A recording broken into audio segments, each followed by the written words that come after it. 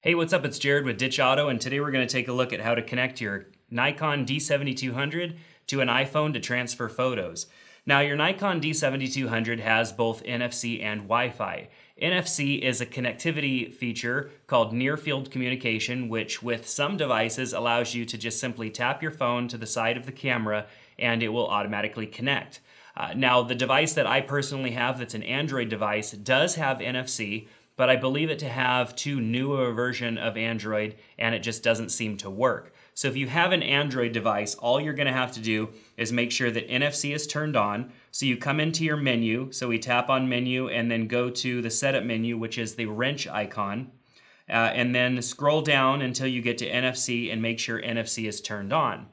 Now on this side of your camera where your SD card door is, there's a little NFC icon and you would simply tap your phone and make sure NFC is enabled on your phone, tap your phone to the side of the camera and it will automatically connect. Now you will need to make sure to have downloaded the Nikon um, uh, viewer application as this camera does not support SnapBridge, which is Nikon's newer platform for wireless connectivity. So make sure that you've downloaded the correct app from the store and I'll provide the links in the description below for, uh, for those Android users out there. And then all you have to do is, is just tap to connect and it will automatically enable Wi-Fi, it will automatically connect and all that will be done for you automatically. On an iPhone, we're not so lucky because the only thing that you can use NFC for on an iPhone is Apple Pay. You can't actually use it for connecting to other devices. So here's what you have to do to connect your D7200 to an iPhone. You go into the settings menu and make sure that you have Wi-Fi enabled. You'll then want to go into network settings and go down to view SSID to see the SSID of your camera. This is the username of your camera that you're going to connect your Wi-Fi to on your phone. So I'm going to hit OK uh, and I'll just hit the back button once and we can see Wi-Fi is enabled and all that good stuff.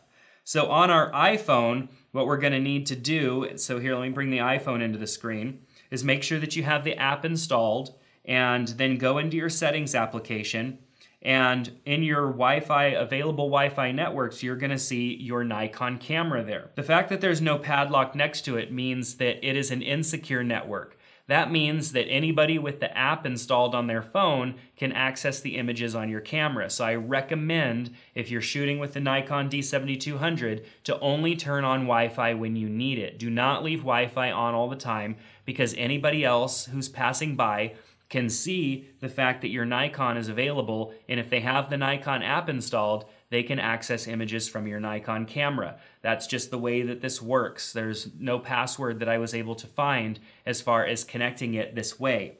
So what you're gonna need to do is tap on that, that Wi-Fi network, and it's gonna go ahead and connect to it. So you'll see I have the little checkbox now.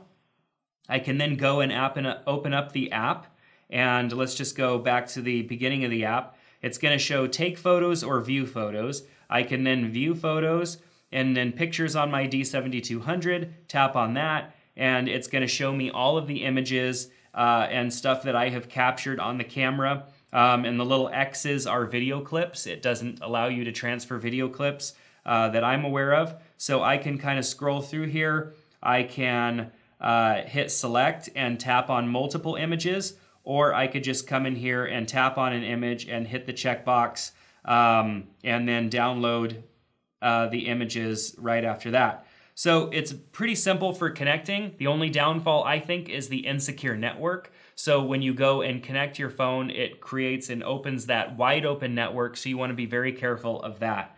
Um, so let's go ahead and just take a look back at the camera again. Of course, you can take photos by going into live view mode and then uh, let me just pull the cap off of the camera here um, and uh, adjust my, uh, it doesn't, it doesn't allow you to make too many adjustments on the fly here when it's connected.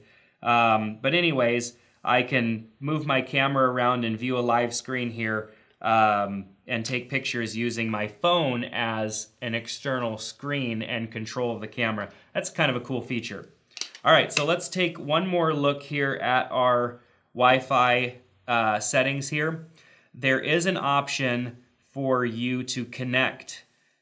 And I need to make sure that I'm disconnected. Otherwise, I'm not going to get all of my options back here. So let me make sure that my iPhone is disconnected from the Nikon.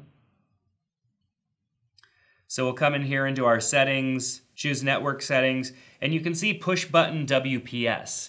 Now, if you have a router, which your router would be at your home or office, and it has the push button WPS button on the front of it, which is a button that allows you to smart connect to devices such as this, you can use push button WPS.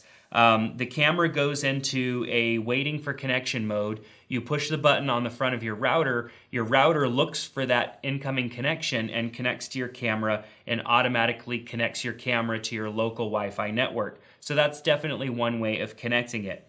When you're out and about on the fly and you're not around Wi Fi or anything else, you're going to rely on that direct connection that we just showed you, which is the camera connecting to the smartphone. Um, you also have the option if your camera is connected and you have the app opened on your smartphone to choose from the photos that you want to send to your phone from the camera. This is very familiar for what I'm used to with Sony. Um, and Canon has an option to do this whole wireless thing, but you have to choose your images from the phone. So that's going to do it on this video telling you and showing you how to use Wi-Fi and NFC on your Nikon D7200. Very possible with either phone, iPhone or Android, but it is a slightly easier process on Android. And if I had an appropriate Android device, I'd show you just how easy that process is.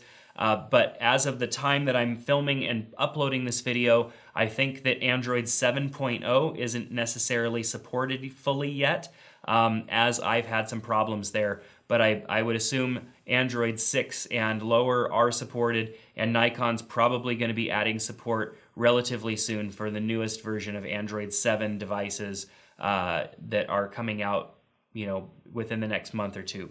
So thanks for checking out this video. Um, if you liked it, please subscribe to our channel. We produce a lot of videos here on Ditch Auto, and if you want to be notified when we release them, make sure to subscribe to our channel. Once again, links that I mentioned are in the description below, and if you have any thoughts or have any problems, questions, please ask them in the comment section below this video. We'd love to do our best to answer those and help you solve those problems. Thanks so much for checking out Ditch Auto, and we'll see you next time.